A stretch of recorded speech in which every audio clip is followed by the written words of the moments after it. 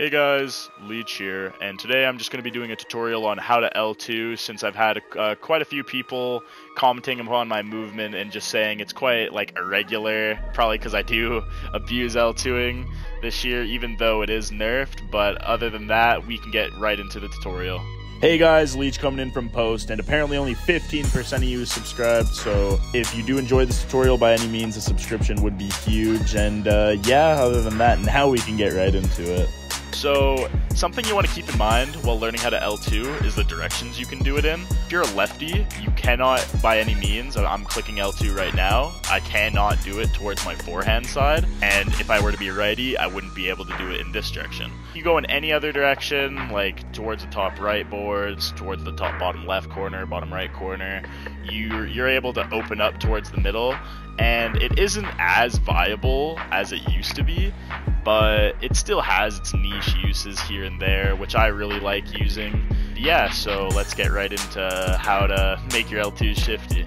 Now, for shifty L2ing, it is kind of um, an acquired skill. You have to practice it a bit. Like I've been like messing around with it all year. I have a lot of hours on this game just in free skate. But I would say like you can tap it, you can get nice little taps going if you want the most simple. If you want to just open up, or like open up, throw a pass. Like that's probably the most simplest form of L2ing. Or we have uh, glitch goals on our video where it's just an L2 backhand, very simple. But to get a shifty um, L2 movement, like this is more so like spins and everything like that. Just like if you have a guy on you, you can just spin off them and get to the middle, something like that. All you're gonna want to do is just like open up the way you want to go, and then you just kind of turn into it. But the first part of that, just to simplify it, I'd say just go your way, hold the L2, and once you get turned around, you just finish the turn off with your left stick. So I turn around, and I just finish it off with my left stick. So yeah, if there's a guy in front of me, I can just turn around and whatever. So that's pretty simple, but let's get right into the, the next step. We'll have a whole progression for this.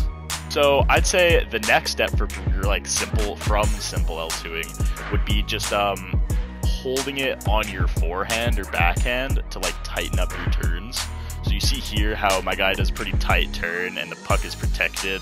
Um, other than when the puck's directly in front of me, I have my back to the play most of the time, which is uh, kind of a side effect of just how they've um, nerfed L2ing this year. But you'll just have to live with it if you want to utilize it.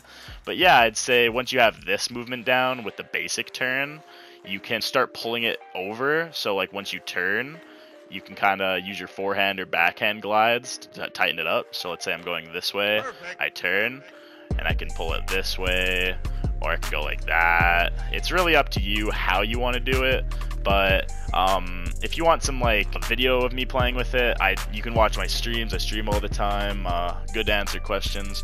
But yeah, so just make sure you're able to hold L2, turn, and then just tighten it up with the forehand or tighten it up with the backhand.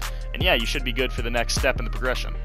For the final step in the progression, this one is something I am trying to figure out myself, but it's just like implementing a protect the puck turn into my L2. So like if I were to L2 here, and then maybe L2, it's it's mainly pretty hard to get off just because of this um this turning glitch when you're L2ing. As you see, my guy just absolutely starts tweaking out for no reason. I'm sure that's just because it's patched out, and they probably didn't think people would be trying to move like that, but yeah. Um, anyways, like, just to get you, like, out of your L2 with speed, as you see there, I just sharply turn, and then I can just go into it. It's it's really pretty it's pretty simple, but if you do it too early or too late, um, there's not much merit in it. But yeah, that's the third progression. So all I'm doing essentially is just opening up, uh, turning, and then just clicking in my left stick. I, I am on skill stick. I'm, I'm pretty sure it would be the same for um, total controls. But yeah, if you have any questions about um, anything I brought up in this video, um, please drop it in the comments. Uh, I stream all the time if you want to come by and watch me L2 in games, or um, if you have any questions that you'd like answered immediately. And yeah, that's everything for the video. Um, if you liked it, um, please drop a like. If you really enjoyed it, a subscription would be huge for us as we are nearing almost 300 subscribers, which is even crazy to say for me. But yeah, that's all for now. So uh, I'll see you guys later. Peace out.